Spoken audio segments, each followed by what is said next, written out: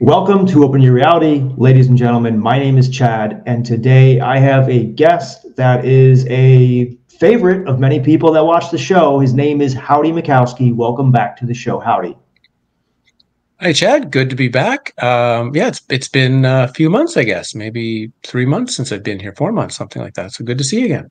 Yes, it has. We've done a couple of interviews in the past, but we actually just did one for my buddy's podcast. We are one and that was um, last week, was it? Wasn't it?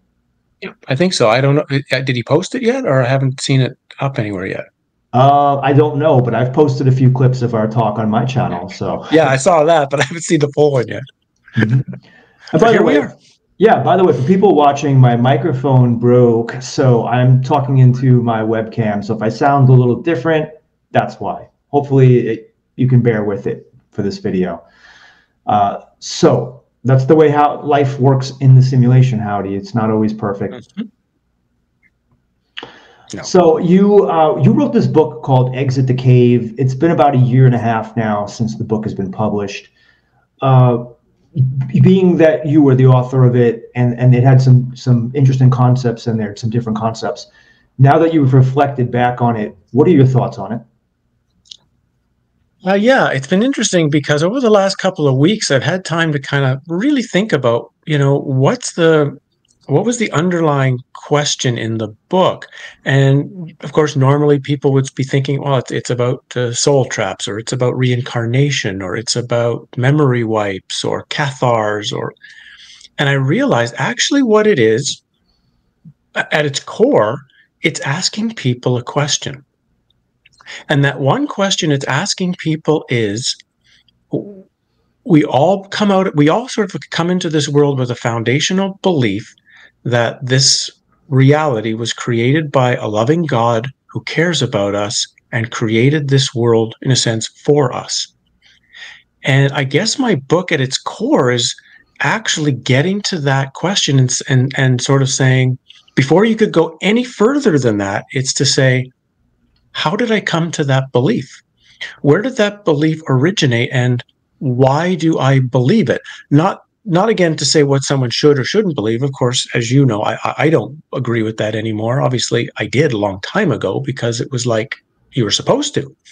But it's I think that's that's the main question of the book because if if somebody won't at least examine that question in themselves to kind of say, okay, where does this idea come from? Why do I why do I believe it? What is my experience in the world that you might say proves proves or disproves it? Then all the rest of the book doesn't really matter. It's just information that's just flowing along. But if someone's going to at least ask that question and say, okay, that's interesting. I'm wondering where that um, that because that's a foundational belief came from, then all of these other topics, whether it's simulation reality, is it a soul trap? Are there beings here to help us or hurt us? Or it, it all it's like it all flows from there, no matter where you want to go. But I realize that's the foundation question that my book is asking people to contemplate. Yeah, um, and it, it's a good book. It's well written. Um, so if you haven't seen it, I suggest you see it. It's a good book. And the thing is, how do you like? How long ago did you start believing that we might be living in a soul trap? Well, I, I probably started touching on it when I first began this stuff for me 25 to 30 years ago when I because I, cause I was coming out of such a dark period, right? With all the things that trauma that happened to me, death of the girlfriend, the depression, all that kind of stuff. And as I looked around me, there wasn't a lot of people that I saw were really happy. So let's just say I I, I knew already in the 19 mid 1990s something was wrong with this place. I didn't know what it was, but it, it it didn't match the story I was given of how this place was supposed to run. There were a few isolated cases of like a few people that I knew were they're actually doing okay and they're quite they're, they're seemingly okay, but I knew if I checked in with them in 10 years, it might not be the same anymore. You know, it's just they're there now, but that doesn't mean they're going to be there in five or 10 years. So I, I already had it then. When I first dug into the ancient Egyptian stuff and the ancient world, and I started reading ancient texts, be it the Egyptian funerary texts, uh, things like the Chilam Balam and the and the Popol Vuh of the Maya and the Indian texts, and it, all there was this always this underlying um, battle of duality that's being presented in it all. There's always this this sort of clash that's going on underneath all of these things. So something was already telling me it, it's not, it, it can't be the loving place we've been told it is because all of these cultures all over the world wouldn't be telling us something else. But I didn't. I didn't go any deeper than that. I mean, I saw that there were problems in this place. I saw that it was quite insane, but I still had the belief I could fix it. You know, I was still holding that idea that, like, yeah, God's something wrong here and he needs me to fix it. And in one way or another, I sort of tried that for 10 years off and on. And maybe about seven or eight years ago is when I hit the point where I realized I think the place is unfixable. Okay, let's ask why. And it still took me another five or six years. I had to go through that expositions book that I wrote to sort of uh, derail history and the possibility of the of the reality of history. And then I was finally ready to be able to accept. Okay, I think the thesis I have is correct about how I see the world. But like I say to you, Chad, and everybody out there, always it's a thesis. You know, I don't know for sure. Nobody can say they know for sure. All we're all people can do is bring a little bit of truth the way they see it and the way they've come to look at it and share it and say, you know, take this piece of truth with your piece of truth and this other person's piece of truth. And if you put them all together you might actually get the story here. But i know i know for a fact tomorrow i could see something completely different but it's been 30 years almost to get to where i am now to see the world with this very unrosy kind of glasses. Yeah. Yeah. I know. Um i you know i have this debate in my mind all the time and i say is it really a soul trap or isn't it a soul trap? And sometimes I think to myself, well, if what they tell us about the spirit world is true, that it's a place where we don't really have a body like we do here. We're more like ener- energy uh, in the spirit world. We don't need to pay rent. We don't need money. Uh, we, we can travel instantaneously, go anywhere, do anything. We have everything we want. It's a very um, it's a very hunky dory experience there. There's nothing that we really lack for. And the reason that we come into a physical world like Earth, we choose to reincarnate, supposedly choose, is because frankly, the spirit world could be boring after a while. There's no challenge there. It's maybe a place we go to rest after a world like Earth. So, do you think that there's a possibility that maybe Earth is the way it is because it's supposed to be this way. It's supposed to be challenging and maybe not the most fun of experiences sometimes because the spirit world is our maybe our natural home and that's where everything is is uh, copacetic. Everything's great there. And so we come here and then we have these very, you know, some seemingly turbulent lives, but it's all temporary. And then we go back home and we can stay home if we want, but a lot of us choose to be here. I mean, have you thought about that whole track of argument? Of course. Okay. Went through all, like I say, you know, been 30 years of this, and uh, um, I come to see it now that the spirit world isn't as lovely and nice as it's like to be presented. Again, I sort of I sort of present a, a really good examples with near death experiences where I see the standard near death experience of the white light and Jesus and grandma and feelings of love is like going to the waiting room of the dentist, but you haven't really seen the dentist. It's like you've gone to the dentist and someone comes, you've gone to the waiting room and someone says, "It's okay, you can go home now." Oh, that's it. Wow, fantastic. And and I think there's these deeper and deeper places that are kind of how the astral realm really we're talking because we're kind of talking about the astral realm really now there are places beyond the astral realm that are quite heavenly actually um, like like nirvana is a place in the but it's tricky because it's still in the matrix. So it's still not true totality. It's still not true completeness. So that would be your so that would be your idea of boredom. Now I, have heard some um, near death ex- or i guess you call them pre-birth experiences of people who claim they were in this heavenly place that they were in nirvana and it said exactly what you said. It's it was boring. It was like it's the most beautiful piece of music being played but it's being played over and over and over again. I got to get out of here. So you can almost, if you if you switch your mindset slightly, you could see that as a form of torture too. Mm-hmm. That torture is not just constant pain. There's a great Twilight Zone episode. I can't remember what the name of it is, but somebody doesn't know he's dead. He think or he's dead. He thinks he's in heaven, and they put him in. He's an old gambler, and they put him in Las Vegas, and he wins. He wins every single time. Every girl will do anything he wants, and finally he just says, "Please let me lose." You know, I've got to have the feeling of losing again. You know, and finally he just okay, just get me out of heaven. I, I need to get to hell. And finally, this guy who's been talking says, "Where do you think you've been all this time?" So it's it's really strange. I see now how the how the manipulation tactics could be could be going here. So in one sense, I don't disagree with what you just said at all. I think, eh, and I've seen it myself. The question is, could that also be part of a very bizarre, massive matrix system that we're in? That it's not just nasty stuff that's part of the trap. There's all sorts of things that seem really nice at the beginning, but are, you know if you're in prison and somebody gives you an extra hour a day of uh, outdoor um, outdoor time, you would think that's great, but you're still in prison. That's true. Uh, the yard time is probably the most coveted time that you're you spend in a prison because it's the only time you go out. But I know what you mean because uh, yeah. if if something is is great all the time, you get bored with it. Um, yeah, you need the ups and downs. Maybe that inherently the problem is just us consciousness. Just it's built. Have you ever thought of what consciousness it what consciousness is and why it is? Why were we built with this feeling of of being bored?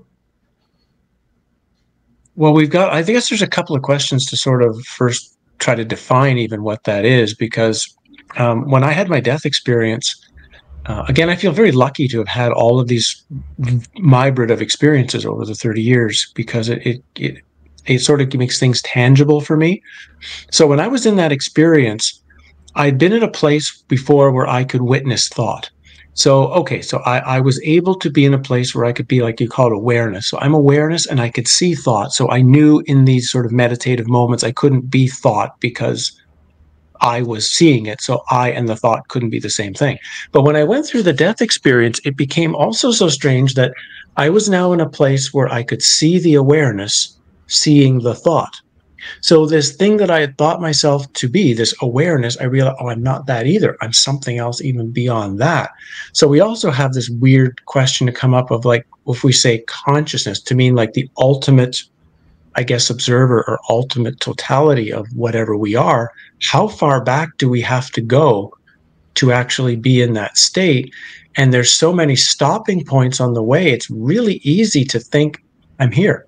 I've, I've landed. I'm at this total consciousness, not even realizing, yeah, there might be one more step even before we're even truly at our consciousness. So it's, it's, you know, I'm trying not to, I don't want to confuse everything for people and, and sound like guru like or something but unfortunately that's the case. We are so we have been so we've been given so little information directly about what our reality is and where we are why we're here. I mean how many thousands of years that everyone's still asking what's the meaning of life and no one really knows?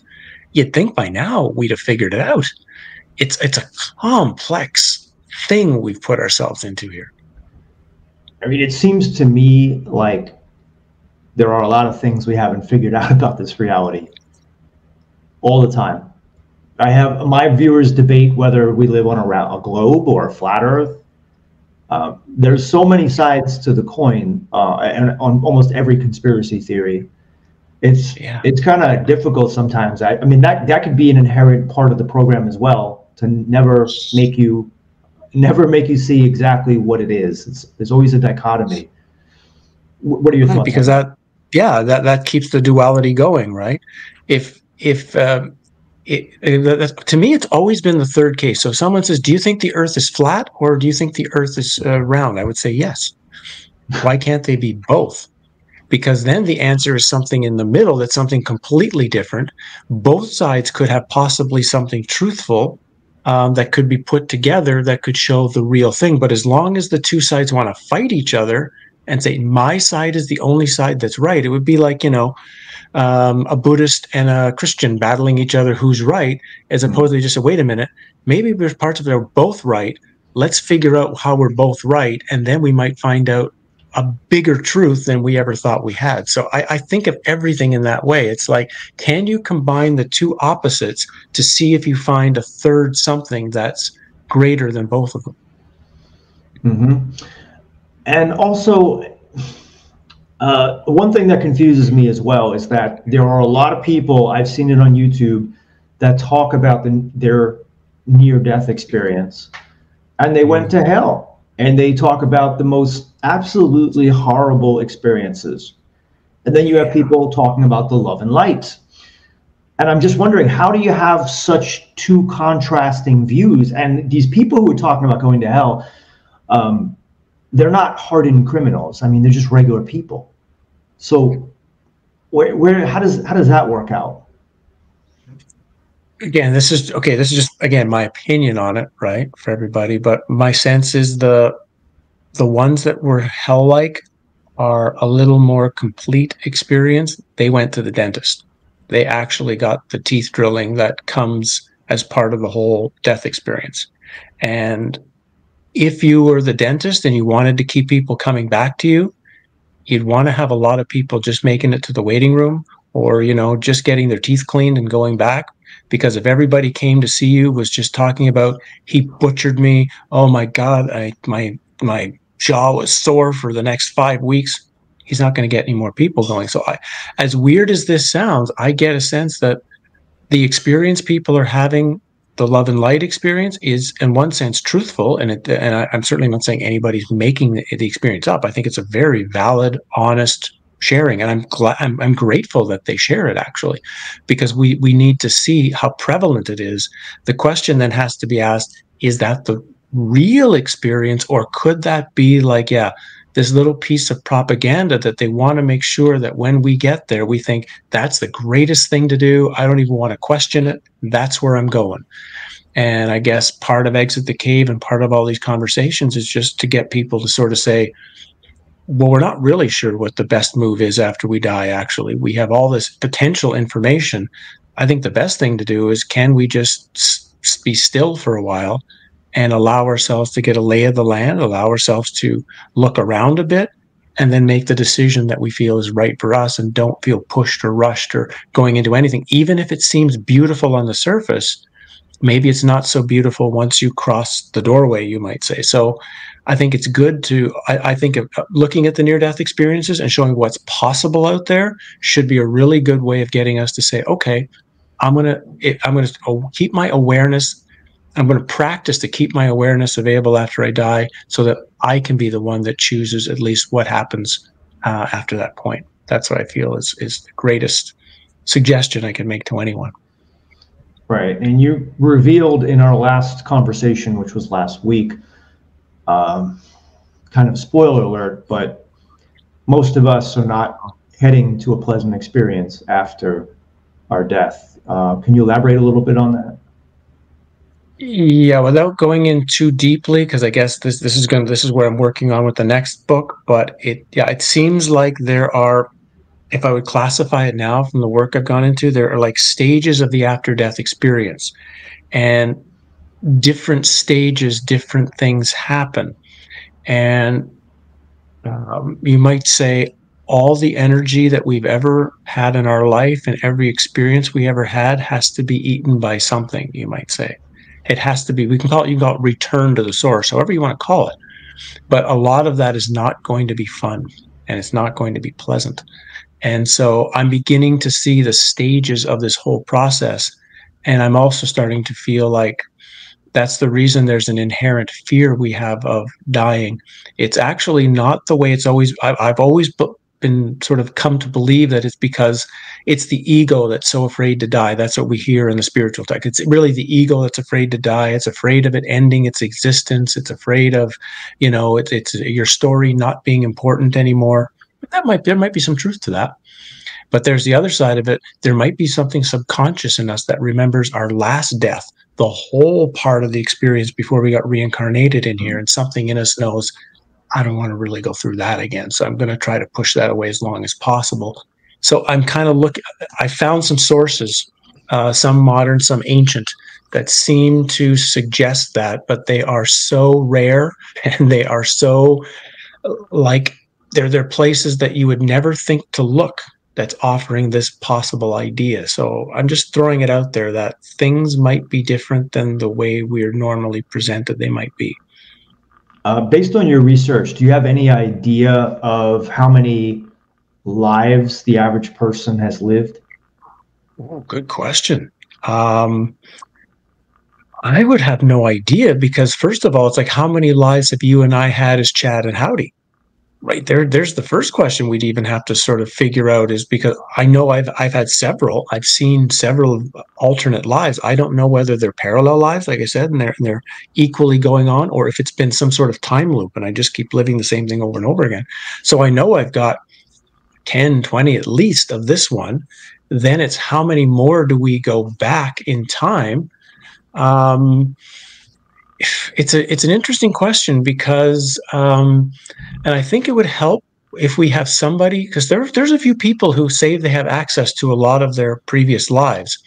And the more lives that somebody would share with us that were really insignificant you know they were a shoemaker in a small town in germany and they made shoes. Another one oh yeah i i just farmed with my wife and my kids uh, somewhere in the uh, you know ethiopian desert and we just lived 20 years there and i died. Like ones that have like no significance whatsoever that might give us an idea of if, if somebody has that memory how many we have.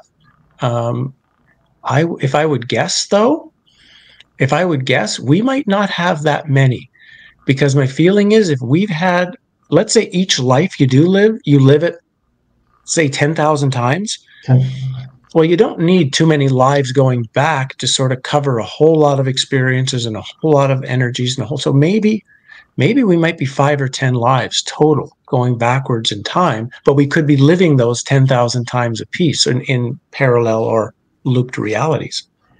So if they were in parallel or looped realities hmm. then we we consciously wouldn't remember them, right? We wouldn't we would feel like this is always the first time, or unless we had deja vu. Uh, yeah, kind of.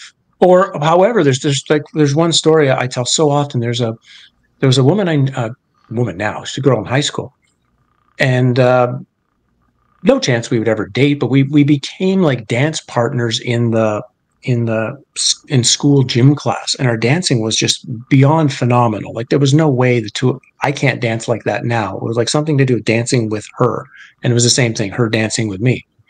It wasn't until years later i'd had a i'd had a dreaming experience and i realized oh geez in another life we married. And we just this is that was just a part of our life in that other existence and it made complete sense of the kind of connection we had. Even though there was so many things that were very very smooth for the two of us in this life i realized it was pieced together in that life. So it, it, for me it kind of says there i call it bleed. Some of these lives bleed into the others or they come through. So sometimes we can be we become want to become friends with somebody because that guy right there I, I know i need to be this guy's friend but i don't know. I just know i need to go talk, talk to him and say hi. And if we tracked it we probably see in an alternate life you and him probably were really good friends and you spent a tremendous amount of time together or you were soldiers in the army and one he saved your life or something and you want to you know who knows? But it's it's interesting to see that most of the time we don't remember other than i think there are certain draws or certain feelings or certain uh, things that happen that pull us toward uh, certain people that we had certain connections with. And be it's also the opposite. There'd be certain people that were instantly we instantly dislike them. You know I, I don't like this guy. And well it's nothing bad about this guy. I mean he's not evil or anything. He's not like you know, you know yeah but i don't like him why? Because maybe 50 lives ago, you and him really didn't like each other. Are you familiar with the work of Anthony Peake? I know some of it. I, I, mean, I've looked into a little bit of it, but I haven't studied it in like absolute detail. Um, I guess you've probably, have you looked into it more deeply, probably than me? I've had Anthony Peake on my show twice, and and uh, I have one of his books. But his whole take on on reincarnation um, is that kind of like what you said. We we get one life. He believes we get one life, but we live it over and over and over until we somehow get it perfect, just kind of like Groundhog's Day, and then I think we're out. But I I, I don't disagree. I excuse me. I don't agree with that. but I right. find it to be incredibly interesting. Uh, and I think that. So I'm just looking. Keep talking. I'm just looking for a book. Yeah, and I think that of all the people I've had on the show, um, among you and maybe a couple others, I think Anthony Peake was one of the most interesting, well-spoken guests. Especially mm. when you have a British, when you have a British accent, you automatically go up a level. yeah. And and so, uh, have you seen the movie Edge of Tomorrow with Tom Cruise and Emily Blunt? It's about it's a sci-fi version of um, of uh, the movie I just mentioned, Groundhog's Day. No, I haven't seen it. But now that you've mentioned it, I'll look into it. Have you read the the novel Replay by Ken Grimwood? No, no. So that's that's that's the book that Groundhog Day was based on. Except in the book, he's not reliving the same day; he's reliving the same life. And what's interesting is every life it's so different from Groundhog Day because in in the in replay, the main character is trying to better his life each time, trying to, you know, trying to improve it, trying to and every time it kind of just ends up exactly kind of how the last life was. Mm-hmm. Like nothing kind of really gets overly uh, changed. Nothing gets terribly worse, you might say. I mean, lots is different, but the overall has he really learned anymore? No. And so it's such an interesting read for that because it's the total opposite of what you would think a writer would write on this subject about. So it, it's one I would also recommend if you like this subject of repeating lives, it, it, yeah. because it's so different than what you would expect a writer would suggest about this topic. One more time, can you say the title and the author for the audience? Yep, it's called Replay and the author is Ken Grimwood. I think it's from 1986. Mm. Yeah, and I think I'm trying to think of the year that Groundhog's Day came out. Maybe it was 89. 1991. 91. Okay. Yeah. I have to say that when you look at movies across the board in Hollywood, that is, that is a movie that had at that time it was very a very original script. I don't think I've seen other video, uh, other movies like it and that's why I like Edge of Tomorrow. First off, I'm a I'm a Tom Cruise fan. I, I think Emily Blunt did a great job in the video, and it's like I said, it's a sci-fi version, so you might want to check that out. And it's what what year was that one from? Just curiously, 2004, I believe 2014. Okay, so that means because there's uh, Emily Blunt was also in um, Adjustment Bureau, and that was 2013. So it's interesting also sometimes that movies that have knowledge or wisdom in them have repeating actors for some reason in the same movies, almost like it's like an extra focus, like, hey, look at this movie, you know, we're telling you something and we're using a similar actor or actress. Yeah, and the year before, Tom Cruise did a movie called Oblivion with Morgan Freeman. Oh, yeah. That was 2013. Right. And that was a little bit of a truth drop movie as well. Yeah. So, um, because that's interesting that we're now we're talking about movies. Like I say, Groundhog Day for the time I, I, see sort of a few different eras. We had the early '60s, where all of a sudden you had you had Twilight Zone, Outer Limits. You had a number of these shows, all discussing reality in their own kind of way, with a very sort of often extraterrestrial UFO edge to it. But still, they they went through a ton of different ideas there. Then you had Star Trek, a number of different things that were. Then we kind of had nothing for a while. Then yeah, Groundhog Day pops up, a few things pop up, and then all of a sudden, 98 or 99, right here comes Dark City, here comes The Matrix, here comes The Truman Show, here comes Donnie Darko. Within four or five years, a whole bunch comes out. Then it slowed down again, and then just like I say, around that time, just after 2012, a mm-hmm. whole another series of movies come out that are all written. And then it's kind of gone down again, and we haven't had the new influx of you know a couple of tv shows recently like westworld maybe severance maybe a few uh, there's an 1899 so there's been a few television series lately but we've we have it seems like we have this a wave of of movie knowledge that it comes in for a while and then it's like it just goes away. Then we have some more movies that come in and it goes away again. It's very unique to watch the the rise and fall of this information as it's presented to us. Yeah it is. It really is. Um well, obviously, the, the Matrix movie that came out in 1999 talks a lot about artificial intelligence. Mm. Where does artificial intelligence play into your theories? In my theory, it would say that the entire of Plato's cave, so the whole matrix is artificial intelligence. That the mm. demiurge that the demiurge might be called the initial programmer and that everything else here in some way or another is is controlled by some form of AI, including us. Uh, a great television program. If someone is, I don't know if I've mentioned it with you before, but if you I haven't, it's it's the 1968 BBC half-hour uh, series called Newsbenders. I'll say again, Newsbenders. It was BBC. You can see it on YouTube. I have a video on it myself. It explained everything about our reality, from how the things are planned years in advance, who's doing the planning, and that every decision every government in the world makes is all coming from a giant computer stored somewhere in downtown London. 1968, it's telling us that every decision is being made by a computer. And I think what we're seeing now within our real this reality of AI and and how much they're letting us see of how much it controls, if we just think multiply that by a hundred or a thousand, that's how much of the whole real matrix is controlled by AI.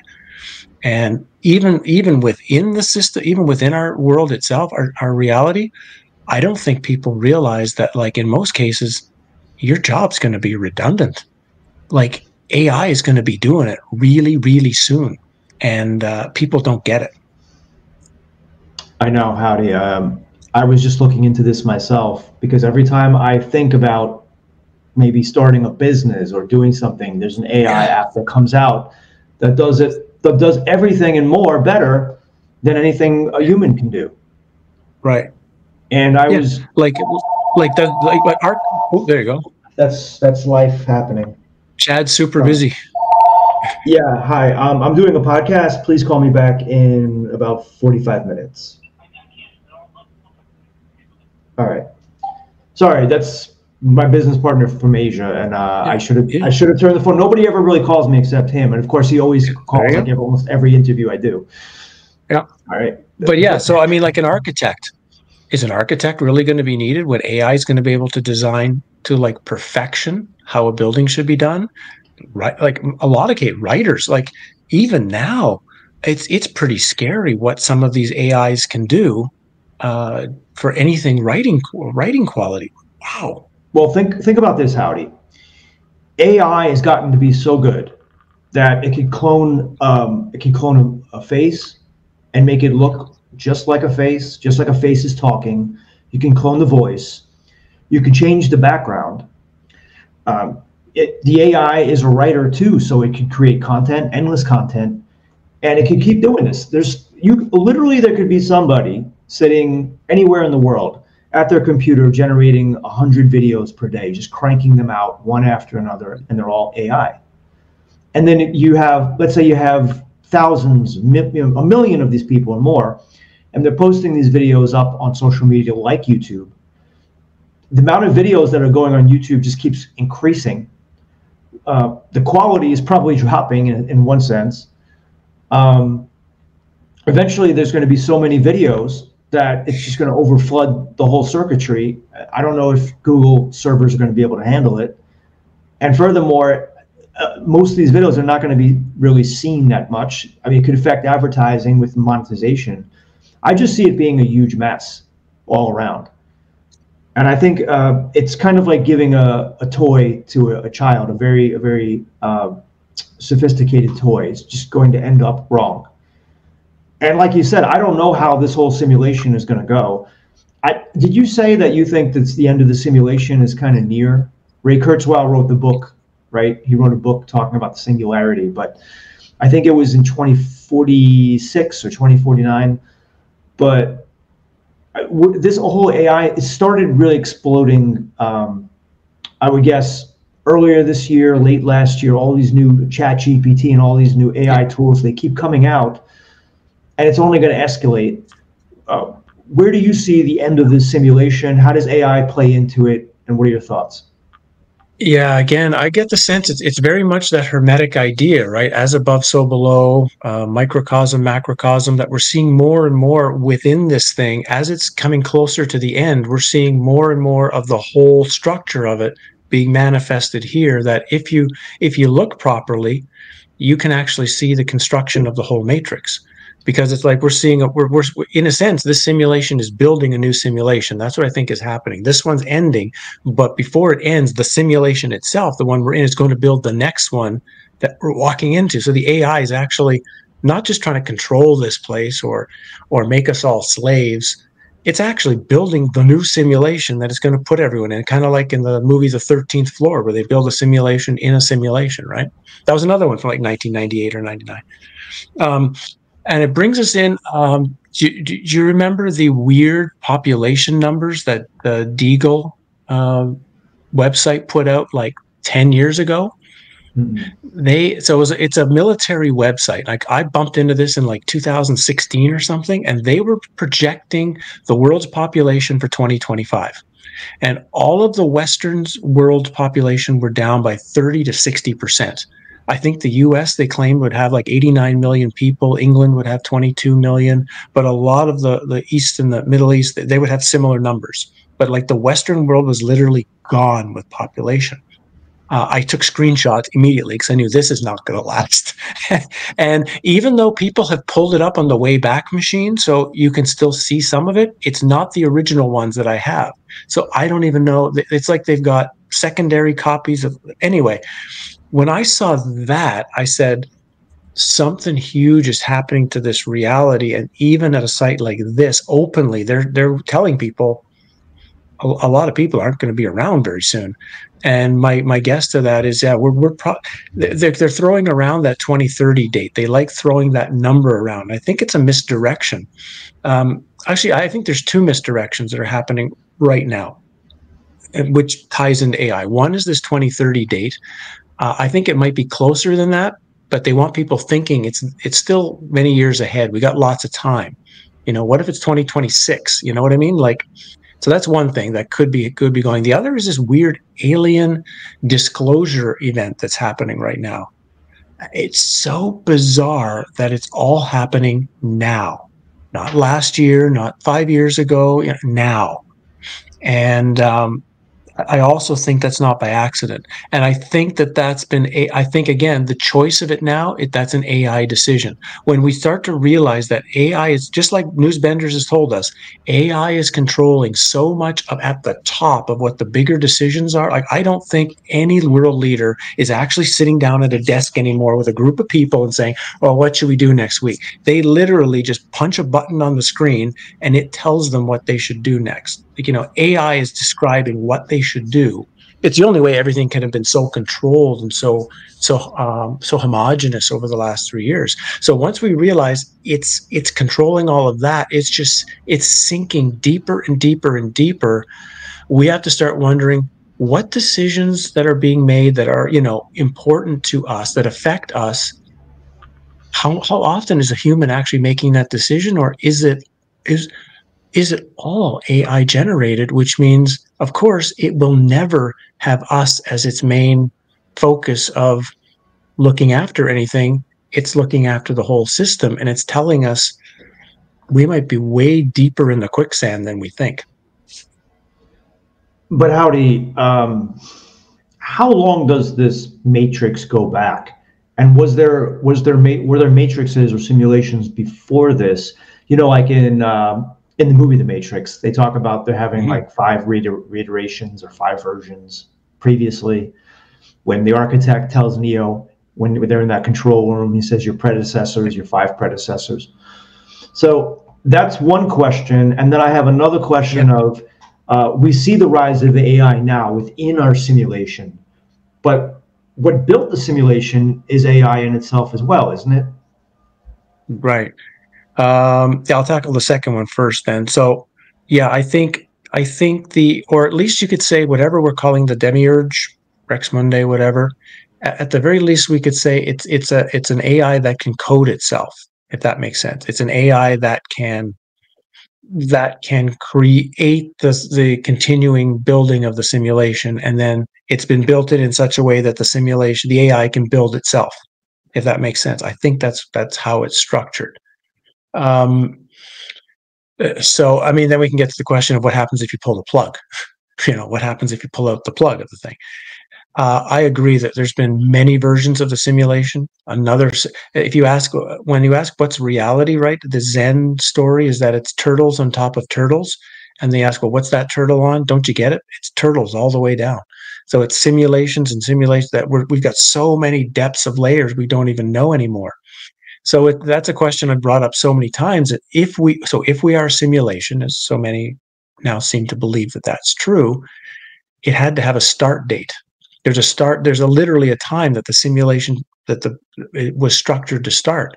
Was it 1973 was it 1841 was it 180 ad to me one of the first curious weird curious things to think about other matrices and time is this ADBC dating system we have in our world, which is like the dumbest system you could ever come up with, that you have an arbitrary date that you have to then go forward in numbers this way and go backwards in numbers that way. No system would do anything like that unless it's giving you a gigantic clue of like, you know, like a computer would do something like that. Human humans getting together to make a calendar wouldn't.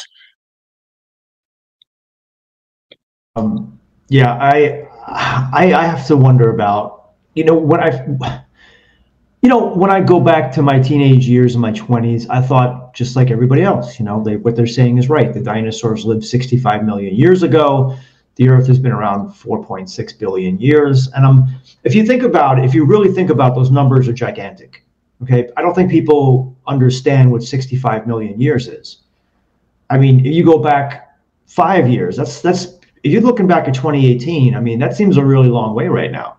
Yeah. I mean, it's, yeah it's crazy how it is because tw- like 2010, yeah. I was watching a program on CNN and it was talking about the the 2010s, like it was so long ago.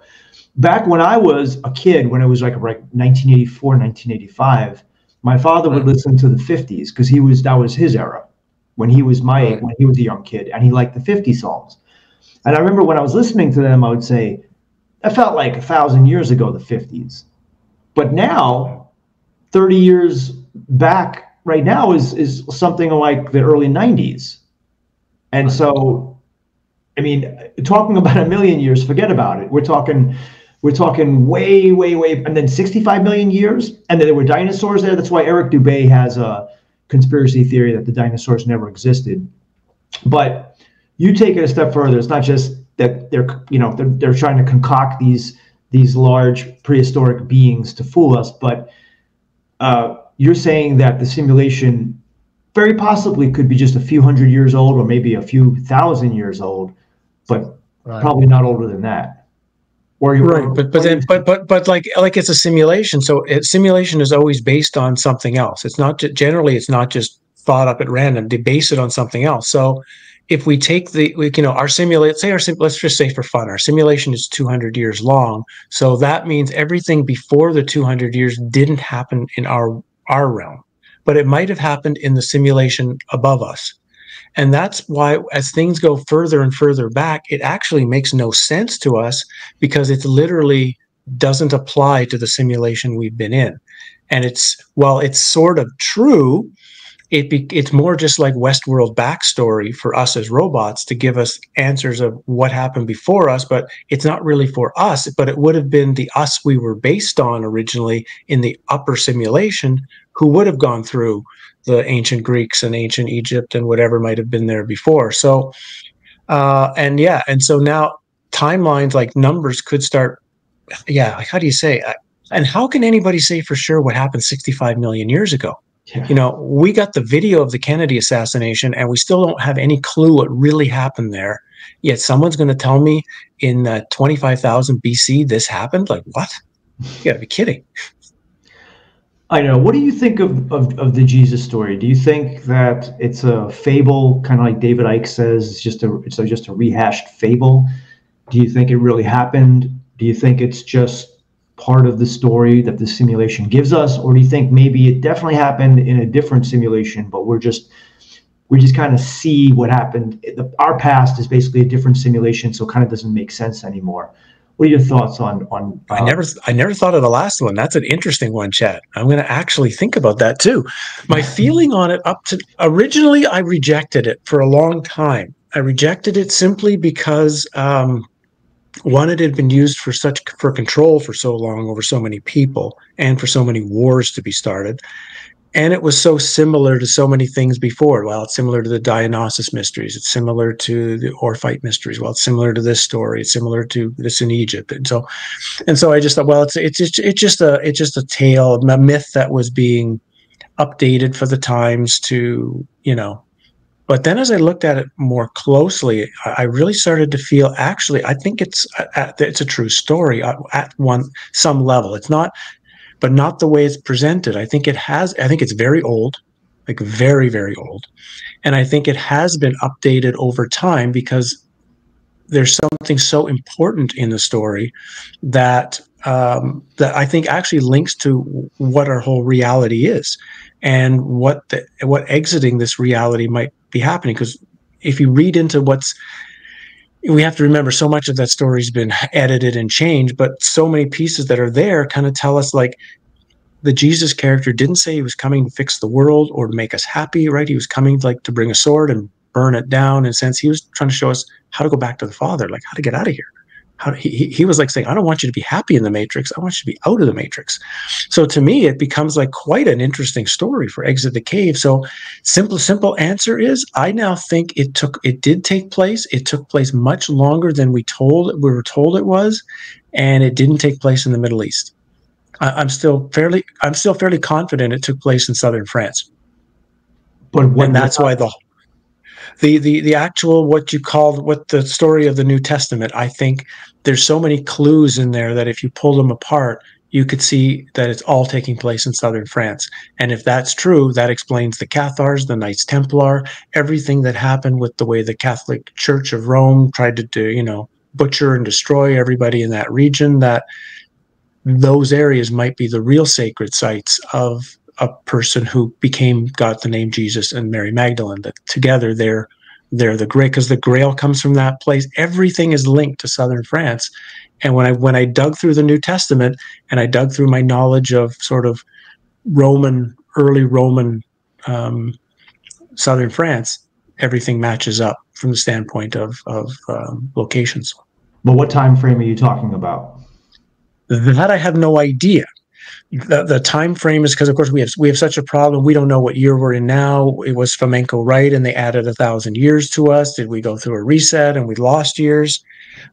But I, I don't think it's 2000 years ago. My feeling is it's older than that. So it might be for assuming the simulation goes back that far it might even be three four five thousand years ago. It might be one of which could make sense. Before the simulation is too is too hardened, is too too um, too AI in place, perhaps something from outside the matrix was actually able to get in here and kind of for a while tried to say, "Hey guys, you're you're in a matrix. You're you're not really home, and uh, and uh, it's going to get worse." So uh, I got some I got some teachings and some understandings that will get you out of here, and that could very well be truthful. I know the Cathars had always said that they had claimed that Jesus couldn't have been a real per. They believed it was a real story, but they didn't believe it was a real person, because to them, as soon as you take a material form, you instantly become somewhat evil because you're you've materialized in a in a non-truthful realm right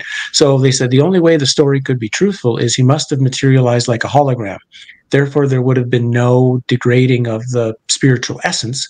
And it would also, it would explain a ton of things of the experiences of how this person lived. So simplified, I think it's a real story, but I don't think the story as it's presented today is a true historical document. It's based on something much, much older. And a lot of what the Catholic Church did, or Catholic Church of Rome did, was to distract that story completely from what it really is and what it really means to something else that would kind of mostly benefit them going forward. That's my feeling on it. Okay, I have uh, two questions. I'll ask them both. They're you can you can take one at a time if you want. I just don't want to forget it. But you said Jesus came here kind of as a holograph, not in not truly in, in physical form, to let us know, hey, you're living in a matrix. This is not this is not a good place. Mm-hmm. Mm do you think there's a way that we can escape the matrix i know that's what your whole book or your next book is probably about but Yeah. Is, it, is there a possibility that we can escape it? And the second question would be if we are good in mind, body, and deed in this lifetime, is there does it help us in exiting the cave in some way? Sure. Simple answer for the first one, most definitely. If there wasn't a way to escape, and maybe escape's not the best word because um, just go back to who and what we were or who and what we are. So we can kind of, because again, it, it, it's a way of making sure we we know we have the power at the at the true core. Because again, that's a part of at least the message I try to share. It's really we have the power. We have the con, we have the true control in this. We have the possibility of unlimited freedom. We've just kind of traded it all away for a whole lot of distractions in a place that's not really helping us like we think it is. Um, does being a good person help you? Yes and no. It doesn't actually in itself, like, it, I don't think exiting the matrix has to do with becoming perfect or becoming saintly or becoming some sort of um, like Tibetan Lama or something. It has nothing to do with that. It has to do with uh, incredible self knowledge and incredible knowledge of the matrix and incredible knowledge of how this was actually created so that the, the tricks and deceptions can be seen through so that nothing can get us. What living in a way, I, I like to call it maybe a way of um, uh, living with an, with an idea of not harming anything else. So, not so much worried about being perfect, but just saying, I'm going to live my life and create no harm for other people, for animals, for nature, for the air. And I think what that does is like right from the first step, we know we get a they're going to try to throw a life review at us in the in the after death state. And part of that life review is designed to try to show us what, what a terrible person we were.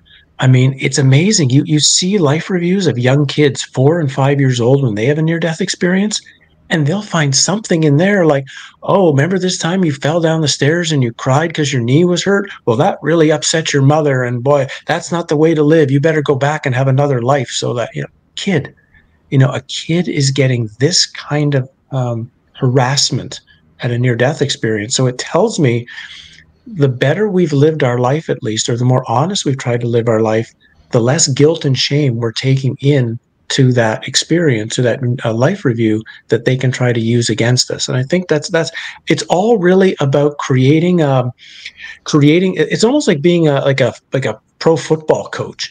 It's like here's all the possibilities that the other team's defense is going to throw at us and when we see this this mode, we know this is the this is the play we're going to run. This is the audible we're going to throw at the line of scrimmage and I think that's a lot of what's going on here is it's is it's becoming prepared for everything because that's a good way to look at it. The the system is like the defense; it doesn't want us getting to the end zone. And you might say our job is simply to run the right offenses and run the right systems that will get us past the defenses into the end zone. So it becomes more or less like a like a scientific examination of this realm. Uh, however, I think if it, the, the more nasty you are in this realm, the automatically guilt and shame you're going to be carrying that doesn't mean someone who's been terrible can't escape the matrix. I think they, they still could too. It's just the workload you'd have to do to overcome that is such tremendous amount of extra work. Why would you want to add that to yourself when you could uh, that time should be spent better understanding things not having to deal with the uh, the jerk you were when there was no need for it? I see. So so yeah. there, you believe there is a possibility that we can not escape, but let's say exit the matrix, yeah. exit the cave. Yeah. Yeah. And you do feel that if we have less guilt in our review, our life review, then we'll be less prone to want to come back. Let's say, but if we get if we do get to the stage where we're having a life review, maybe maybe there's something wrong because we've gone through the light, we've gone through the transition reality and then we've gotten to that stage and then we're hooked. So yeah and of course i still feel too that um, it's all about realizing the greatest the only authority in our existence is consciousness like that what we talked about at the beginning what we really are. So as soon as you even say i'm going to pay attention to a life review from some beings who i don't know who they are you've given your authority outside of yourself You've you've given you've given this somebody else is going to tell me what's okay or not okay, what's right or what's wrong, as opposed to, you know, we know. We have all of this stuff deep within us. We know these answers. We don't need someone outside of us to tell us anything. So I think one of the things of this this dealing with this reality is learning how to trust ourselves learning how to become um, someone who can trust our own intuition, our own knowing, our own understanding, our deepest fear, so we don't have to rely on someone outside of us to tell us anything. We come to a place where we literally um, totally trust the deepest part of our being. By doing that, you get really hard to trap on the way out of here. Well, I mean, that's all well and good, Howdie, but I feel that when we die, and we exit this particular simulation, it's like Tom Campbell says, we're no longer receiving a data stream for Earth. We lose that data stream, right. and we get another one for the transition reality or the spirit world. Aren't we still within the simulation and the matrix when we're? Oh yeah. That's a that's a good question. Really good question here. So as and again, as I've come to understand it now, for everyone watching, it's all just you know, it's a thesis. Um, it seems like the the the core of the astral world, and certainly anyone who, spends a lot of time in the astral world will tell you it's a very emotional realm. That it's it's a realm of like feelings get literally manifested. What you feel you is manifest. That, that's how it's so we're losing logical thought there and this is the big problem that like I, like i say oh you know it's just a matter of staying in your authority and you know knowing who you are and making decisions that sounds that sounds good.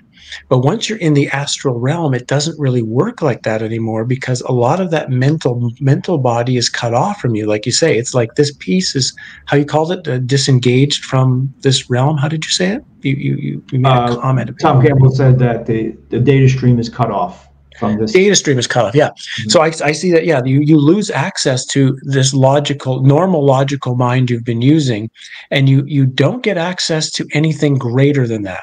So what you've stored in what you've stored in yourself you might say up to that point that's all you got. You don't have you don't have access to more than what you've brought in on the logical side. So it's also important to, to we have to learn how to hold on to that because if we go into the astral realm, i.e., the after death state, without some logical, um, without holding on to some logical stuff, guaranteed we are going to be emotionally manipulated either by things we most love or things we most hate and are afraid of. One, or one of the two will draw our emotion somewhere we probably don't want to go. Now, there's also this this greater mind, this mind that is beyond. Hermetics call us, like I guess, the the total mind it is accessible even in the astral realm, but it's very, very hard to access it there unless you've practiced it for a long time here. So some of these exercises that are part of certain like uh, Dzogchen Buddhism and certain um, Hermetic and alchemic traditions are, I think they're designed to, um, like you might say, one data stream is being unplugged, but then you know how to plug it into the one that's going to help you, as opposed to if you don't, if it doesn't get plugged in there, yeah, then you're just going to be swimming in emotion. And as we all know, if we get even today, right, you, we get caught in an emotional situation, we never make a good logical choice. We always when we when we when we react out of emotion, we always say or do something we regret later on. And so so it's one of the things I, you know, that's, it's a great question. I'm, I'm glad you brought this up because so many times I hear that, you know, all you have to do is stand in your authority and your own power. And that here. You can do that here. Once you go into the astral realm it's a different it's a different state. It's a different reality and you don't have your material normal material um, uh, yeah certain data streams available to you and you have to be prepared for navigating there. And if you're not prepared then it's not to you're you know you're to be back here guaranteed. Which in most cases a lot of people that's what they would want they want to be back which is again fine. I'm not saying anybody shouldn't if you want to come back and be a part of Earth Realm again in the next simulation, fine. If you want to loop back and live your life again, you know, fine. I've just reached a point where I realize I, I just don't want to do this anymore. I don't see any, I just don't see any value to the suffering and the trauma anymore for myself or others. And so um, Uh, it's just a decision I've made to go, and and it just might be valuable to a few others who are in the the same point. But I know it's a very what's the word I'm looking for? It's a very um, it's a message that won't be well received by a by the majority of the population. Let's put it that way. And I've come to realize that's just how it is, and it's it's okay. It, I, I, don't have to be overly liked when I share this message, but I know for a few people, it's it's important that they hear it, just so that they know there is another possible outlook on this place than the one we've been told since we were one or two years old. Mm. I just want to maybe bring up a couple more questions before we conclude the interview. But uh, my mother just flew to New York. Her dearest friend, his name is Charlie. Um, unfortunately, he's been ill and he's he's probably in his 70, 75, 76 years old. And he's he, uh, he's refusing to eat and he's basically dying right now. He went to hospice. And my mother uh, she has she I don't think she's seen him since she's moved down to Florida with me. She doesn't live with me, but near me. So she got on a plane. She flew up. She wants to be with him in his last days. But I think he had uh, he has cancer, terminal cancer, and so he's choosing not to eat, and he just wants to be be done with it. And you hear people say that they just want to be done with life, uh, and I, I understand that by one rationale, you said that we we kind of have this this instinct to preserve our life, but in another sense, sometimes I see it when people have had enough of life. They well, obviously they take their life, but in an instance like this, they they just want to get out of it. They just they don't want to be here anymore, right? Who would want to be in a sick body? And and that's gonna we're gonna face that too in a sense. We're all gonna face it if we live long enough. Something is going to fail, an organ's going to fail. We're going to have to be in, involved with the medical system. We might be on medication. It may be painful. This whole reality is pain, right? It's all suffering. It's even when things seem good, we have a longing for for sex. We have a longing to eat. We have a longing to sleep. We have a longing to do something special. It's just constantly there. It's constantly there. Um, how do you live in in knowing all these things that you know, which is probably you're the, maybe one of the world's leading foremost experts on on all this? How do you live your life knowing all of these things?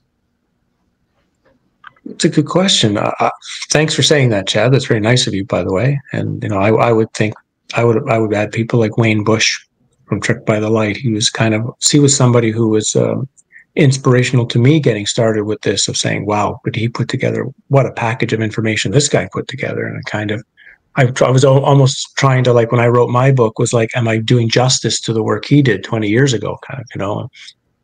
Um, yeah, it, it's interesting when people say, cause some, some, I've had so many emails from, from people that will take this. Note. Somebody says, you know, I agree with you. I, I have too much pain in my life. I, there's too much suffering. I just, I can't go on anymore uh, I, I, just, I, why, why don't you just tell everyone to kill themselves?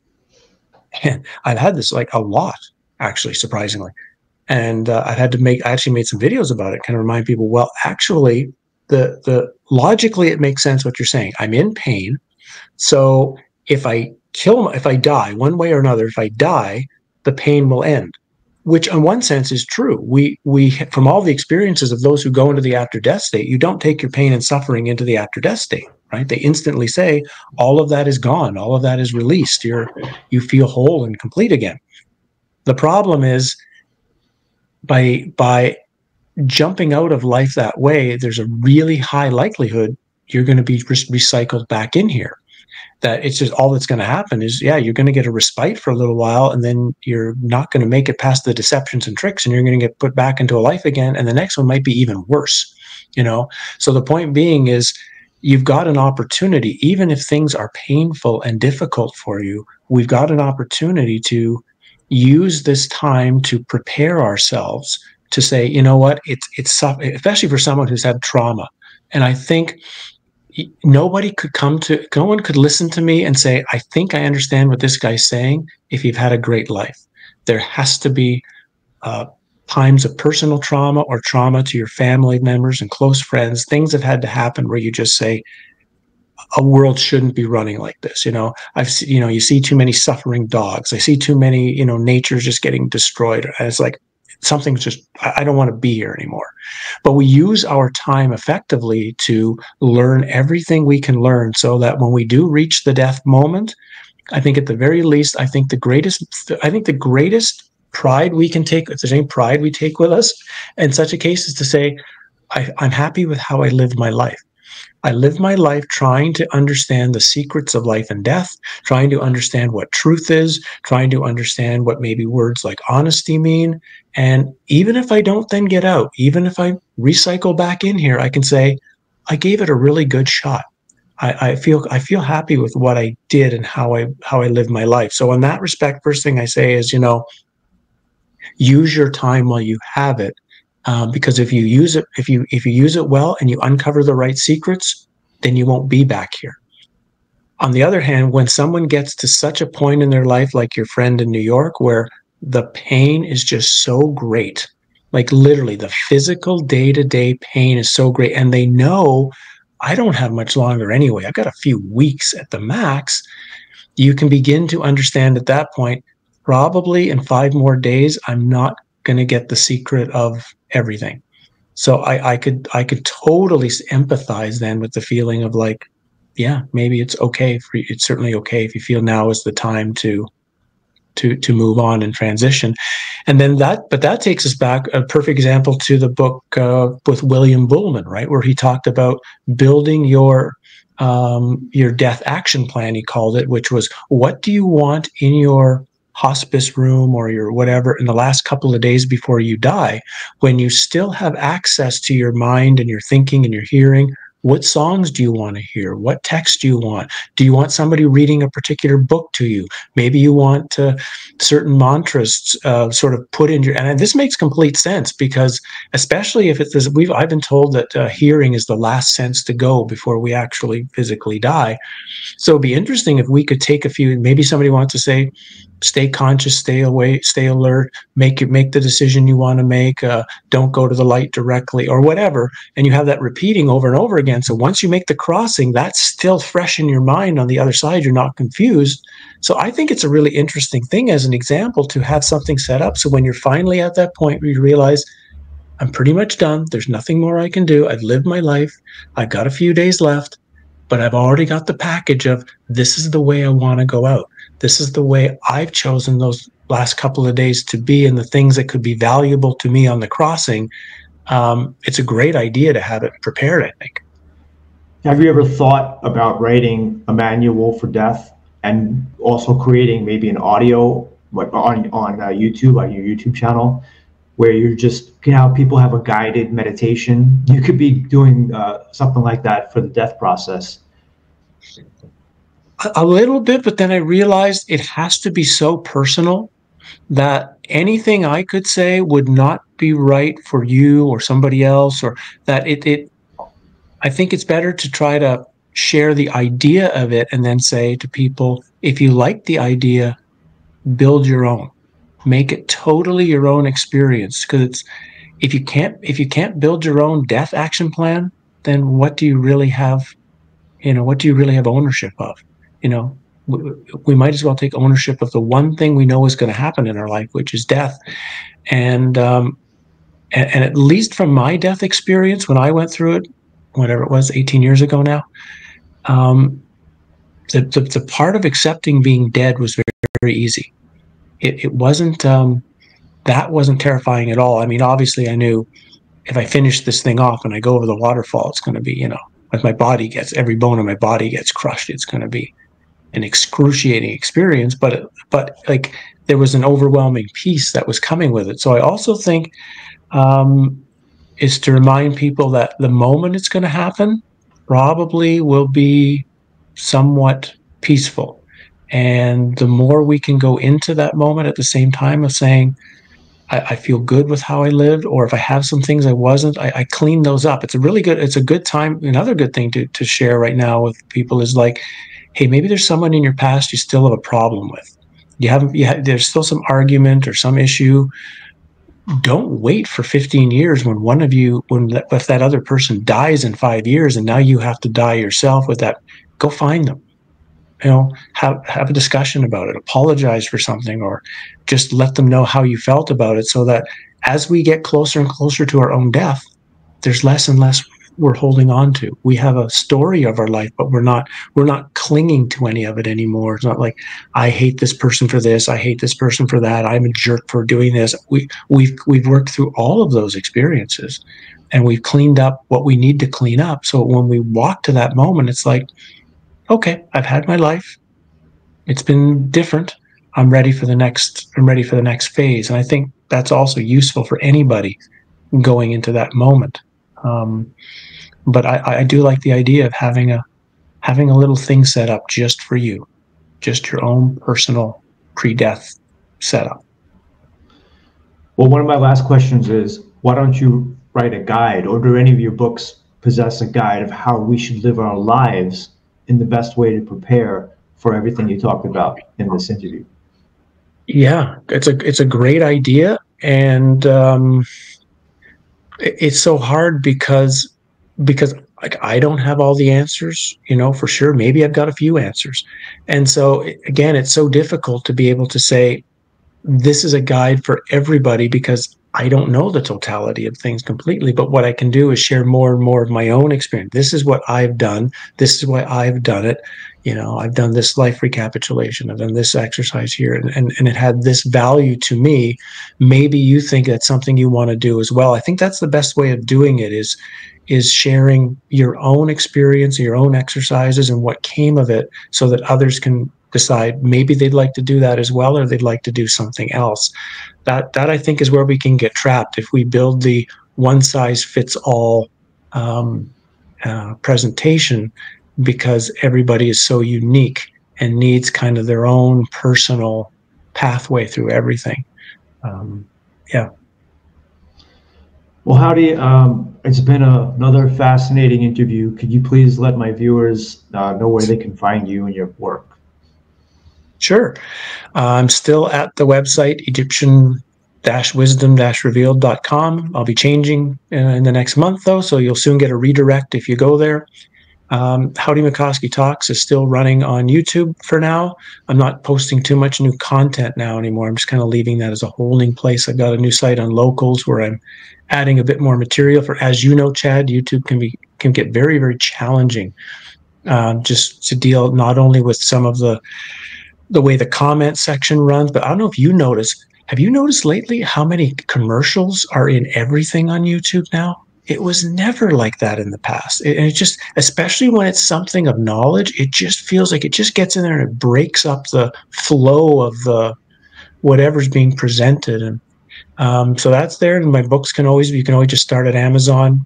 You can you use my name, find my books there, and then you know go purchase them at whatever bookstore you'd like. And um, uh, it, it and thank you for you know someone like yourself. Like i mean i really enjoy coming to chat with you. We have such good conversations to to uh, just thank you for people who've been really yeah i get a lot of you know harsh stuff said to me of course.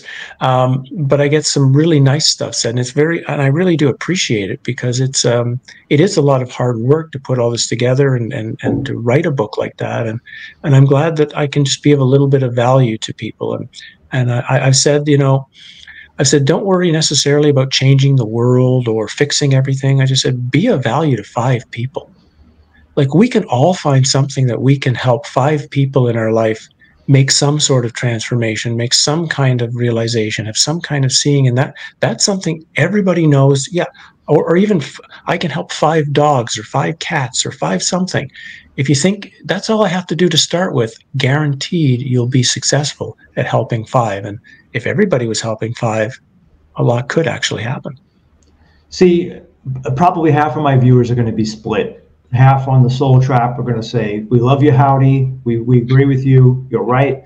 And the other half are going to be the you know love and light crowd who believe there's definitely no, no no basis to the soul trap in the matrix.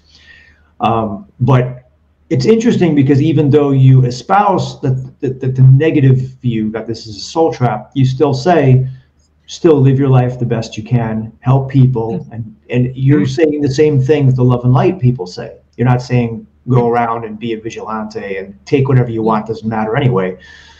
Uh, and the other, the other thing, you said something earlier in the interview, I just want to clarify. You said one of the best ways to live your life is not do harm.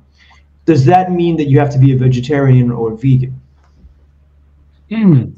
No, it's um, because there's again we, we see that the system is set up that anything to survive here has to take the life and energy of something else. You know, and even someone says, "Well, I'm just going to be a vegetarian." Well, does a carrot scream when you take a bite out of it? You know, just because we don't hear it scream doesn't mean it's not.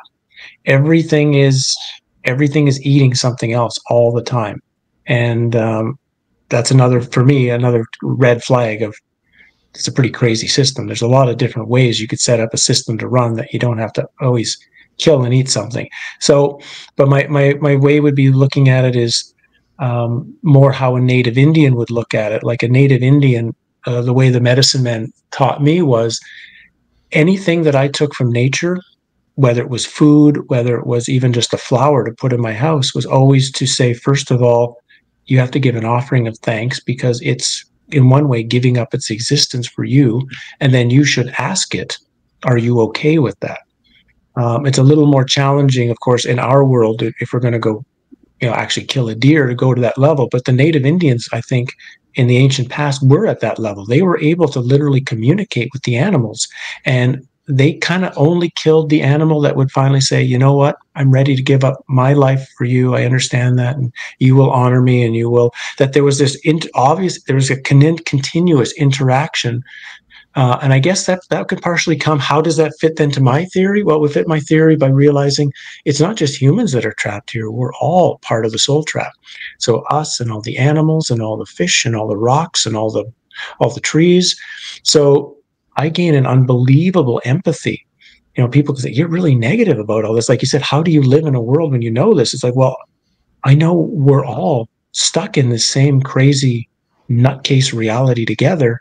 My empathy is incredible. And then just like, that's why I say do no harm in a sense, like you do kind of what you have to do in the sense of survival. But beyond that, it's knowing that we're all in the same place together. And uh, we're all going through trauma and difficulty together, even the trees outside. So say hi to a tree, you know, just appreciate that the tree's there and say, you know, thanks for being here and, and uh, being a part of the world. And uh, so there's like this dichotomy of the world is the world is a soul trap and it's here to steal our energy. And then it's also this, but we're all in it together. So yeah, do at least maybe not say do no harm. Maybe the best way of saying it is just empathize with everything around you so that you know um, you're, you're trying to be helpful to what you can be helpful to when it comes to you. Yeah, the Native Americans had a maxim: we have not um, inherited the earth from our ancestors, but rather we have borrowed it from our children. So right. they they had it right for the most part. Um, we can't do that anymore. We live in cities where we have capitalism, we have materialism. Um, it's I don't see us ever going back. But in this, and I see everything accelerating, getting worse, faster. It's like yeah. the quickening. There was a book written, I think it was by Stuart Wilde, called The Quickening, where he yeah. talked about it. Um, yeah. I don't know how. There's little, there's little things. There's so many little things that we could do. Like I'll give you an example. For a lot, I have I haven't done this for a while, and I'm going to start again now that we've had this conversation. But I used to before I took any meal, so if I had my dinner tonight, I would take a little bit of my meal before I started and I would go outside and give it to a tree. Like symbolically giving the first piece of my food to nature and saying, I hope this, uh, you know, that some animal, some ant, some something will come and eat this. And, you know, that symbolically, I'm already giving of myself before I take anything. And, and there's so many little ways that we could put Native Indian teaching, even in the middle of a city, into our life that could have energetic ripples that we don't necessarily notice. So I agree with you, Chad. To to to have that kind of life now would would require well require technology to go away. It would literally require the ending of all technology, and then we would be we to survive. We would live in native Indian villages. We would have to rely. That was one of the great things about the native village and why it was so powerful. Everyone relied on each other to survive yeah. You didn't you didn't have to you, you weren't friends with someone because you want your friends because if they don't get the water from the lake, we don't drink anything. If this person doesn't make the shoes, nobody nobody walks. it's it was this unbelievable importance of interconnected survival. So we can probably never reach that as long as we're in a place where we don't feel like we need our next door neighbor to keep living anymore. That it's all kind of done for us, and we're all just just pieces of a machine. And so I agree with you. But there's little things like that we can do where we can at least feel like we're touching that time. And I think you know you know what I'm talking about. And I just uh, I, I think little pieces like that help us stay a bit sane in the, in the insane reality. Howdie Mickoski's um, little golden handbook to living in the matrix, and you could have you could have Chat GPT ready for you today. Exactly. I'm Thanks, telling you, it'll do anything. Yeah, you, are welcome. Great having you on again. And uh, check out Howdie's channel, subscribe to mine, and we'll see all you guys in the next video, which will happen sometime in the future. Thank you, Howdie. A lifetime watching it slip away. Battle lines clouding the picture frame.